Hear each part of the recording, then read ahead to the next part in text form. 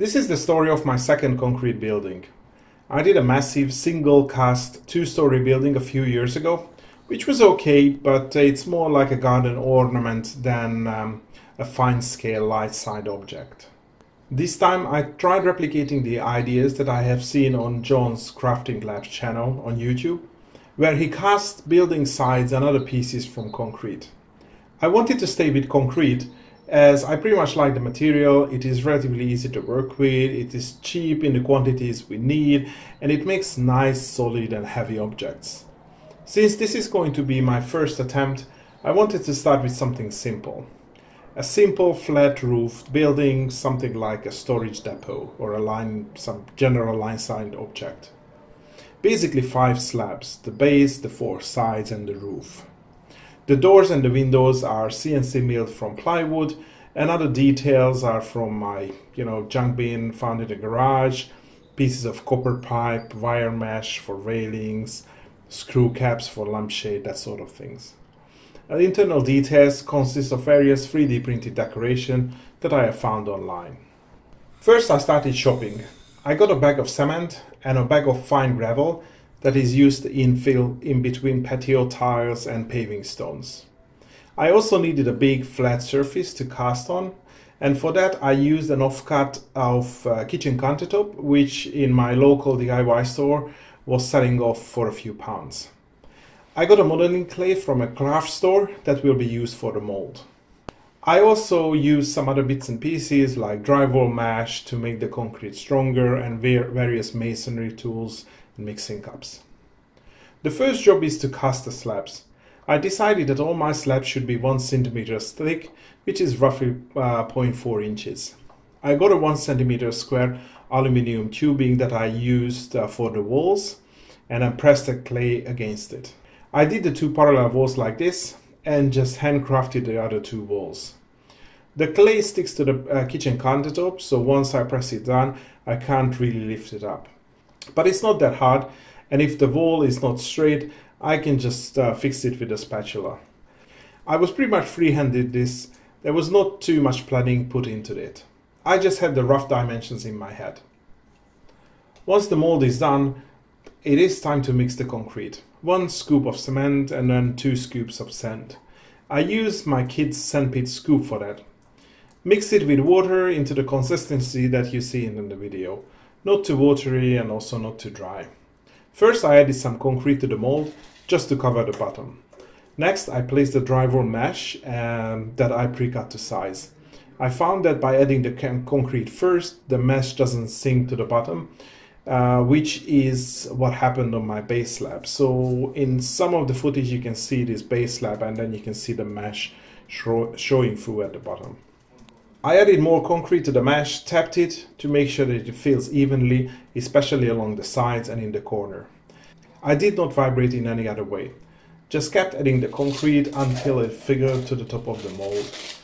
On the top I used a small crafting knife and basically hand vibrated the top to be flush with the top of the mold. This was probably the most co time consuming part of the molding. I designed all these top surfaces to be inside so the surface quality, it doesn't really matter a lot. There was always a bit more material in the middle, but again, it's not really visible from the outside, so it didn't matter much. I usually did my casting in the evening, and in some cases I was really impatient the next day. Sometimes I started demolding um, after about 10 hours, which is not a lot for concrete to be honest. Uh, the concrete wasn't fully cured in some cases it was just still feeling a little bit wet. By this time the modeling clay had dried and shrunk, so it was easy to peel away from the concrete or just use a knife to you know, break it off from the surface. I cleaned the clay from the concrete residue and I put it back in the bag. By the way, after putting back the dried clay in the bag, I sprayed some water on it, sealed the bag and pushed as much air out as I could. After a day or two, the clay returns to the original pliable form. So it is really easy to recycle this modeling clay. At this point, the concrete is very soft and it is very easy to clean the edges with a very, very light sanding or even scraping off uh, the excess. but I did broke one of my slab, so it is better to wait at least 24 hours. As you can see, the surface with the countertop is beautifully fat. I was really amazed. This sand cement mix has amazing details. The side and the window openings are, are just as straight as your mold. It took some time to complete the slabs. Making the mold casting probably took me about one and a half, two hours every evening. The next evening you can break the mold, clean up the slabs, recycle the clay, clean the kitchen countertop and cast again. It is a patient game, not like resin casting where you, you will get your parts after 15 minutes. But again, a bag of sand and cement goes a long way. Once I had all the slabs, I started putting the building together. I used construction adhesive. It is easy to work with and it also fills the gap in between the slabs. It was especially useful on my model because I wasn't paying too much attention uh, to get the edges straight and square. Once the construction adhesive dried, I used two layers of paint primer.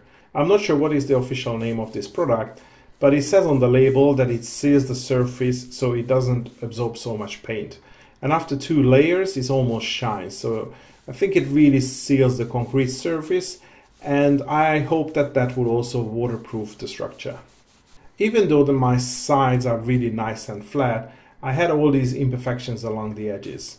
So I wanted to give this building an outside render, something like a lime render. And this is where I think I made a mistake because I added plaster to the mix. Basically, it was only like cement and plaster and water, and that's what I applied to the surface. It makes a really, really fine paste, which is easy to work with, but it sets really, really fast. I just smear this onto the surface, try to smooth it out with my finger, using water also to smooth out, but I really only have a few minutes. After that, it starts uh, setting even in the mixing pot. Adding too much water would also cause it to run down on the surface, and you don't, if you don't have enough water, then you just can't really spread it. So it wasn't really nice to work with. But I finally got this rough rendered structure which I really like. I use my wet finger to work on the door and window openings and also to smooth the edges. Once the render was fully applied, I used the paint sealer again to lock this plaster layer to make sure that it doesn't get any moisture. So fingers crossed, let's see how it works out. After all this was fully dried, I applied two layers of white exterior paint. This is the same paint I used around the house. Nothing special, simple, off-the-shelf home improvement store exterior paint. I also painted the inside. In the meantime, I started milling the door and the windows. All are different size, so I measured the opening with a plaster and milled them out. I used three layers of wood stain and also sprayed matte varnish at the end. I had some leftover plexiglass for the glass panels and I glued them on with a simple wood glue. The windows and the door sits inside the opening. Some trimming of the plaster was required. I fixed the doors with construction adhesive, which also sealed the gaps between the window and the concrete structure. I was planning to completely close up the building, so I needed to do the interior details first. I recently purchased a 3D printer, which I put to good use. I started looking around for suitable models in Thingiverse. I found some dollhouse furniture, a fridge, a sink unit, a chest of drawers, and cast iron stove, office table, and some other random details like barrels and crates and a pallet, and even a C64 computer with a disk drive and a, and a monitor. I thought this um, computer is going to be a nice touch. This is what the people or the guys in the in this building are going to use to manage the inventory. After all, this is some sort of like yeah warehouse kind of thing. So that was just a great fun. I needed to resize most of the models to fit this scale, but that was really easy in the 3D slicing software. I also had some cheap Chinese 1 to 30 scale models which I used in this building. I had a piece of vinyl flooring as a carpet, which is again not the best in scale, but good enough to add some texture to the floor. I also added some interior and exterior lights. I purchased some SMD 5050 warm white LEDs in the past. There are two LEDs inside and one more in the lampshade above the door. They are all wired in series with a 1K current limiting resistor. It is designed to run from 12 volts, which is my auxiliary power supply on my layout. The LEDs operate below the full brightness, but they give off a very nice warm glow, which I really liked. I also applied conformal coating to the LEDs just to make sure that it lasts long as it will be difficult to replace them once I seal the building. I decided to run the wires um, to the side as opposed to the bottom of the building. I 3D printed a small electrical cabinet which I fixed on the wall outside uh, to hide the spot where the wire comes out. Next I added some fence details on the patio for which I used some copper wires and some wire mesh that I had lay- lying around. I also applied some exterior grey concrete paint to the patio. In the meantime I cast the roof slab. I found this bitumen based uh, roofing tile which has this nice diamond pattern. I used that for the roof and also used some simple aluminium tile edges to hide the edge of the slab. And it also gives this roof like a modern tin lined look, which again I quite like. The last step was to glue the roof onto the building. I did this in two steps. First, I glued some wooden sticks like coffee stirrers, but these are the wider type which the doctors use to push your tongue down when there is an examination. So I used those and I used them for two reasons. This allowed me to level the roof, and I also thought that if for any reason I need to open up the building, in the future. Maybe it will be easier to break away the roof if I have this wood layer um, basically in between two glue layers. I guess only time will tell. I also added some more glue. Um, I'm still using construction adhesive to seal any openings and voids uh, just below the roof. And that was pretty much it. I'm not sure what's going to be the final place of this building at the layout. So far it is just resting at the end of the station it is not even wired yet, which I need to do soon, so I can see how the lights look in the evening. I am very happy the way it turned out. I think this is a very rewarding project.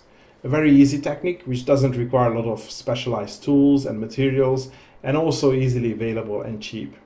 If you have your own house and you are used to do some DIY, you probably have most of these available already. I have plans to follow this up and have a few more buildings built the same way in the future, probably in the winter time when there is more time to work indoors. I would definitely encourage you to try something similar.